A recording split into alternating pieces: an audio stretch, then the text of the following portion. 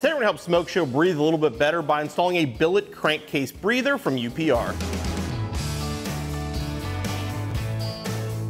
This billet crankcase breather from UPR is going to fit your 2018 through 2021 Mustang GT. Now the point of this is to get unwanted pressure out of your crankcase. Now that's very prominent in supercharged applications where you're creating more boost and creating more crankcase pressure.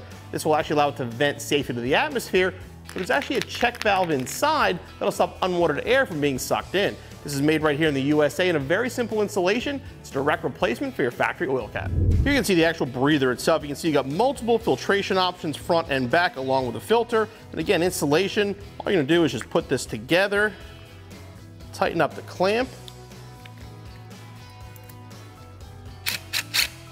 and you're ready to install. Before we get started, if you have a factory engine cover still, say you're using a Vortech Paxton Turbo, whatever, you do have to remove the extension piece, simply unthread the extension piece from the valve cover and replace it with your breather. In the case of Smoke Show, the engine cover is long gone because we have our Roush 4 Performance Supercharger, so all we have to do is just basically pull the oil cap and replace it.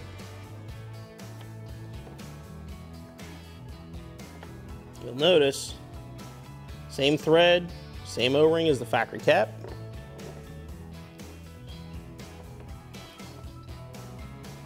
Push it down to place.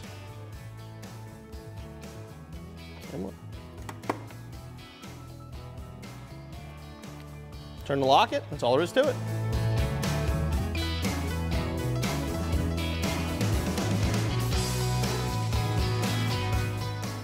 The UPR billet crankcase breather is a great way to relieve that unwanted crankcase pressure, especially in your supercharged Mustang, and the installation honestly could not be easier. If you can check your oil, you can install one of these, and if you have the Roush engine covers like I do, they actually will fit on top and clear it, so you can put them back on when you're done. This installation will take you a matter of minutes. You'll be back on the road in no time.